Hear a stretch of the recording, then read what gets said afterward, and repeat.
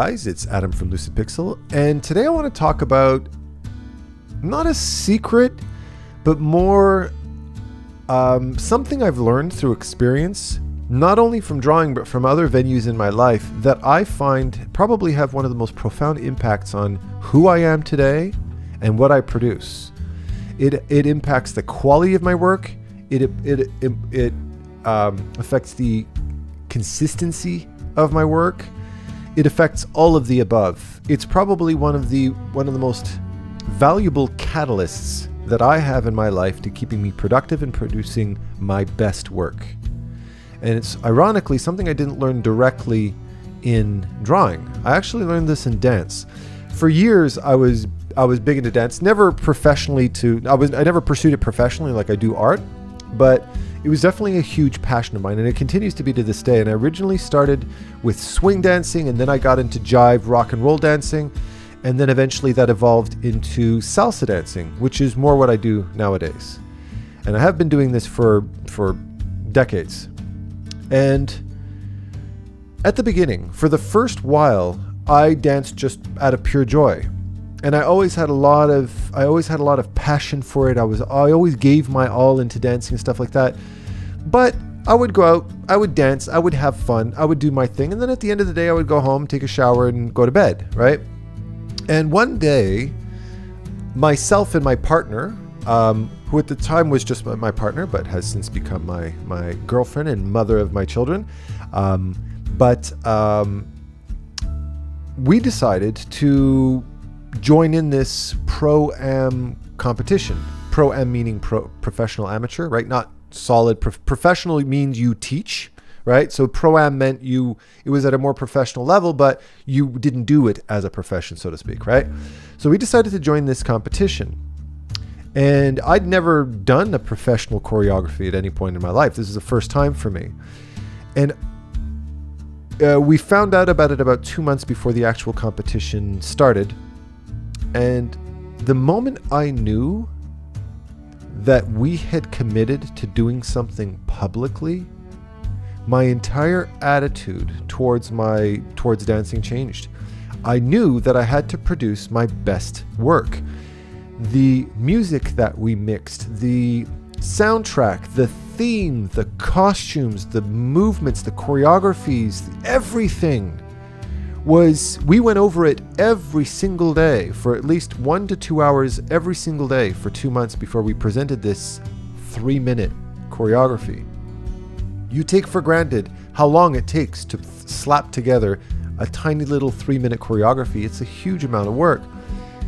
But the knowledge that we'd be in a club with hundreds of people watching, music playing, and we were going to be competing against other dancers forced me to do so many things right. It forced me to put my best foot forward. It forced me to commit to dancing on a regular basis. It forced me to create a theme and to and to present my work, our work. Of course, I'm, I'm just speaking for myself here, but to to present our work in a way that was the most entertaining and offer the most value to our audience. We had an audience, people who were going to wait, who were waiting to see this stuff.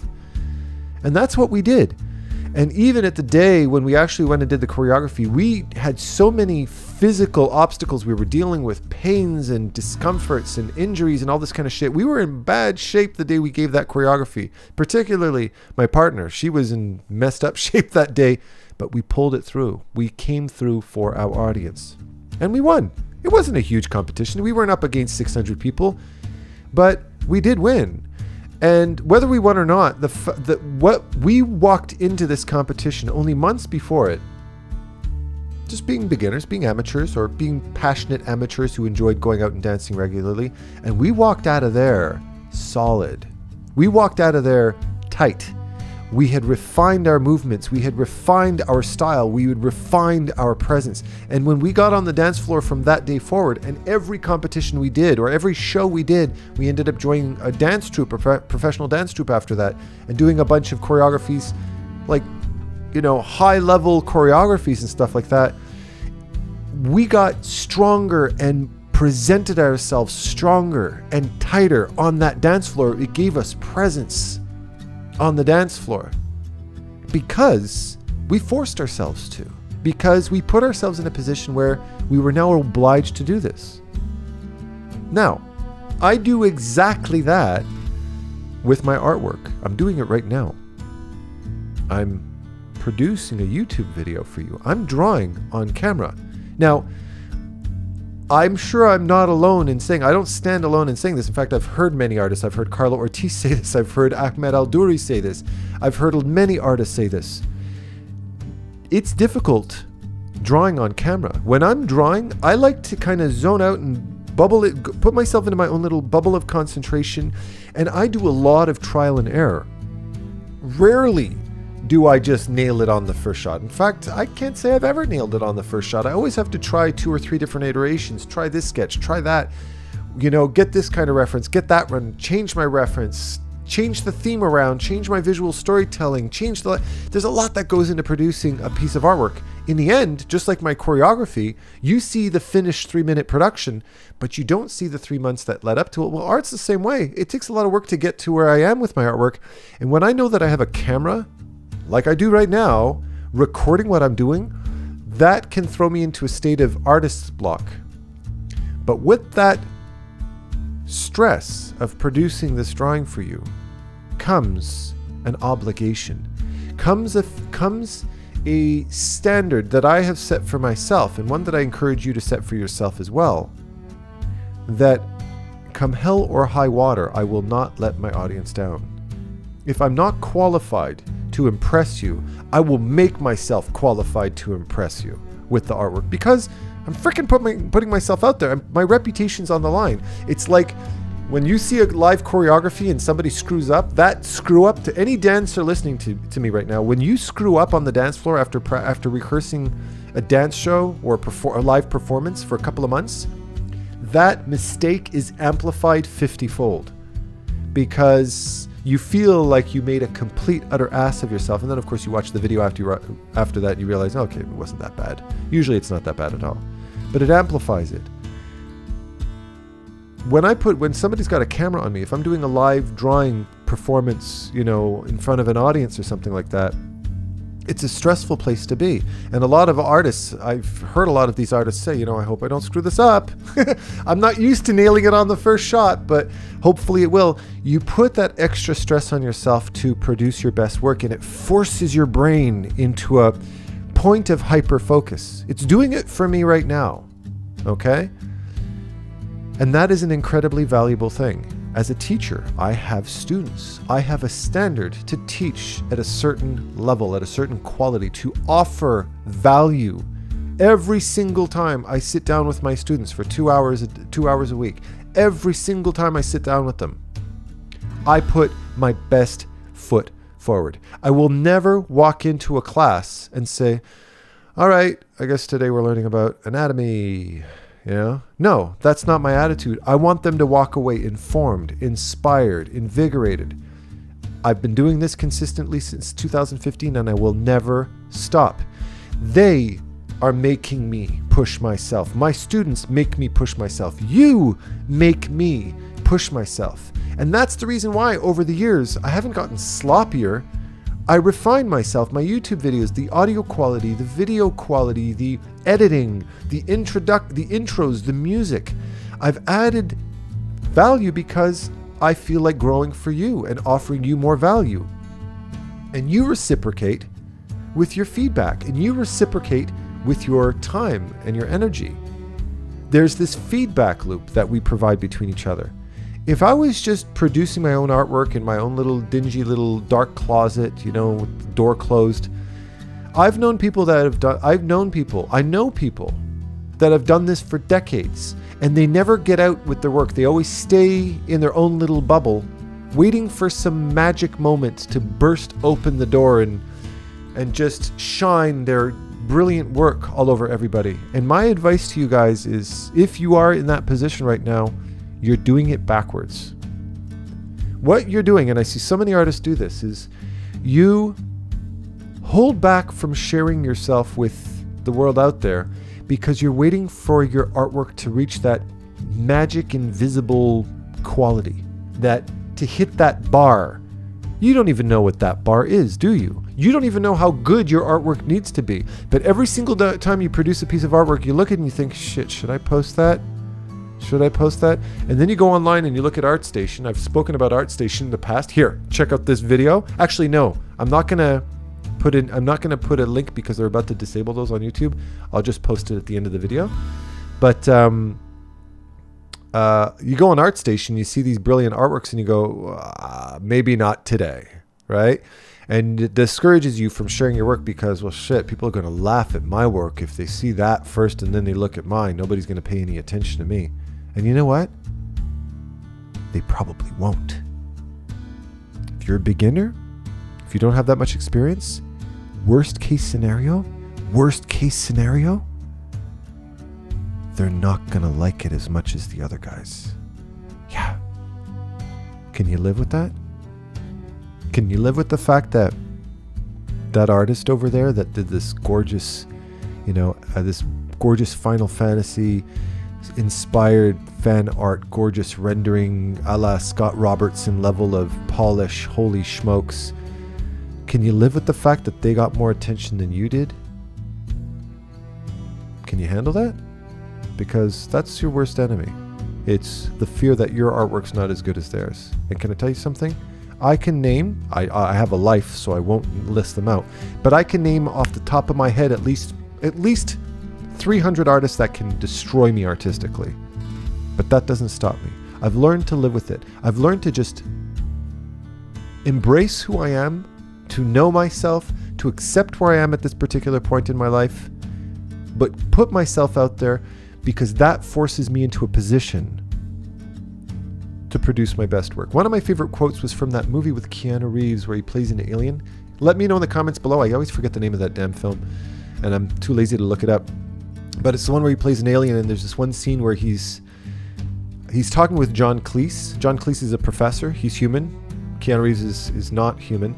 And he's working out a formula, and uh, uh, he's trying to brainstorm this formula on a chalkboard, and Keanu Reeves comes and erases it and fixes his formula. And John Cleese immediately recognizes that he can't be human to have that kind of knowledge, right?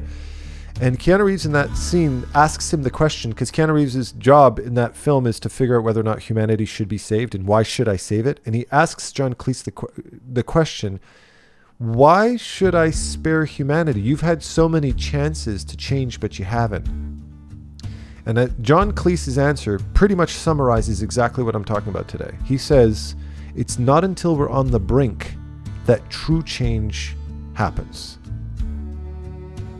You can say this true for any smoker of 20, 25 years who gets a lung cancer scare or some, you know, some person who's put off breaking up with somebody because they live in a shitty abusive relationship until eventually that person crosses a line of no return, a point of no return, and that is what they need to get the hell out of that relationship and go running. We need to be on the brink sometimes. Being on the brink is a great place to be. When I put myself on the brink in front of that audience and risked Shame, which of course would never happen, even if I fell on my ass. People would forget it five seconds later, right? I'm not the center of everybody's universe, but for that three minutes you feel like it. And you for that two months you plan to be the center of everybody's universe. It puts you on the brink. And it forces you to think, think hard, be focused, do your best, don't waste anybody's time. And every time I produce a YouTube video, that's exactly the position I put myself into. And every single time I sit down in front with a student, I put myself in that position. I'm not going to I'm not going to feed my students with half-assed knowledge. I'm not going to provide my students with promises that won't happen. I want to provide my students with exactly what they came to me for to grow and reach that next level. And I won't let go until I help them reach that point. I can't, otherwise I just rip them off. And I can't stand the thought of doing that. So if a student comes up to me, which happens every day, and they ask me a question that I can't answer, I go online and we find out the answer together. But I'll never just say, ah, it's that, and lead them down the wrong path because I have a standard.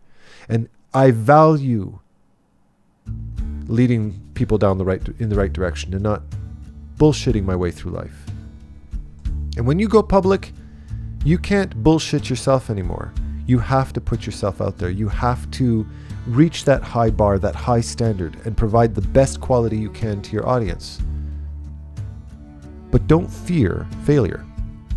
I have failed on YouTube more times than I've probably succeeded. If you look at my earlier videos, and uh, you can call them failures, but if you compare my new videos today, the audio quality and the video quality and the editing quality of my earliest videos, I leave them there. I could have deleted them. They're not serving me any purpose now, but I leave them there because every now and then I like to I like to send people back to my early videos to have a look at them and just have a look at how shitty the audio and video quality was and how inconsistent it was. One day I'm going with this visual theme and the next I'm doing that, and one day I'm talking about this and I was freaking all over the place. I keep them there to let you know that that's worst case scenario, the shittest, equip- shittiest equipment. And I can even let you know what my old equipment used to be. You'll laugh if you find out webcam uh, equipment with some gaming headset, and I got some you know work lamps from the hardware store, and I clamped them onto the side of my monitor and shine. You name it, doesn't matter.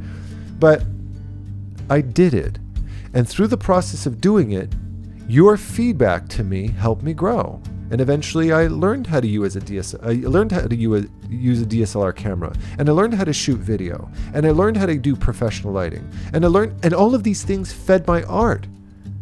And fed you.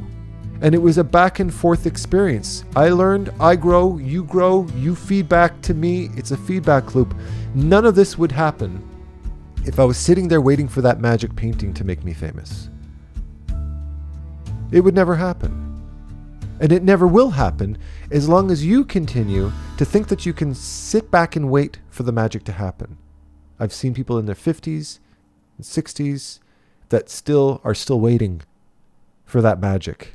It's not going to happen. Start now. If you're 50 now, 55, 65, 75, and you haven't gotten out there, but you still have a desire to make a career out of your art, it's not too late. Do it, but get yourself out there and let that feedback guide you.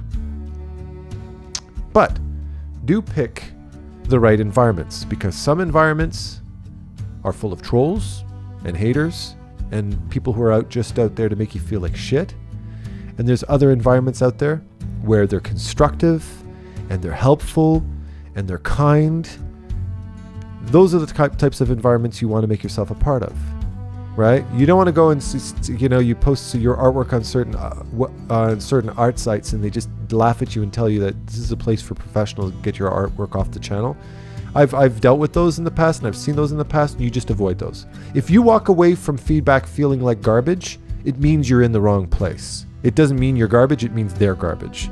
But if you find an environment where you post something and you get constructive feedback within moderation, then you're in the right place. You guys always provide me with amazing feedback. Confided, I'm not a controversial YouTuber, right? I'm not sitting there trying to rattle any cages, but you guys always provide 99% of what you guys provide me with is always amazingly helpful stuff. And I love you to pieces. That's why I keep doing it. And you should get that same kind of feedback from your art community as well.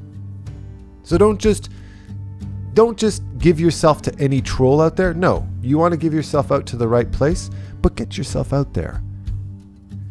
Don't be afraid and don't wait to be the best artist in the world. That's never going to happen. I'm still waiting. I'm sure I'm about 600 years away from being the best artist that ever lived. I can live with that. Can you? I can live with the fact that this painting, this drawing you're looking at, is probably not the best thing you've ever seen. I can live with it. Can you?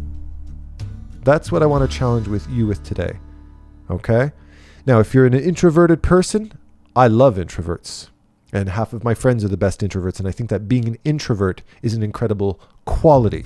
It's not a social handicap. So I'm not talking about introvert versus extrovert here. I'm talking about finding the right crowd to connect to, but getting out there and connecting with them and pro- providing consistent quality artwork for an audience instead of just doing sloppy, lazy stuff for yourself that isn't going to get you anywhere. Okay? But that's not a hate, that's not a hit on introverts by any stretch because I think that introverts are incredibly valuable and should not be changed. All right? So, as usual, this Canadian knows how to shoot his mouth off for extended periods of time. Hopefully, it's helped to kind of realign your brain a little bit and get you out of your your little cocoon. Okay. And remember as well, of course, I have my behind the scenes every single Monday or art talks. You know what? I'll be completely honest with you. Art talks and behind the scenes are pretty much the same thing. So I think I'm just going to go back to art talk again. I think it's a little bit more uh, intuitive, but whatever the case might be. Every Monday, I produce videos just like this one. Sometimes there's art. I'm trying to produce more art, uh, sometimes not. And remember as well, I have on Thursdays, I have my art critique, my live art critique sessions for subscribers. So if you want your own artwork critiqued, um, you can check out the description below. All the information is there. And as well as my online art mentorship. So if you're interested in learning art, and teaching me a few things in the process, then I welcome the opportunity. You can check out the description below as well. All right, so happy painting. I love you very dearly. Get out there, and I'll see you next week. Take care.